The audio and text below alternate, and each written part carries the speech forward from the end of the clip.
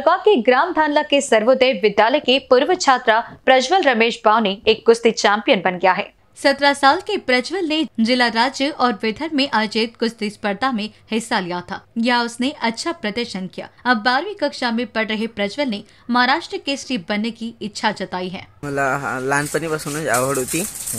तर मी श- शाळेतून गेल्या तालुका खेळले पहिले मग जिल्हा मग विदर्भ माझी आवड आहे की महाराष्ट्र खेळायला जाईन मी.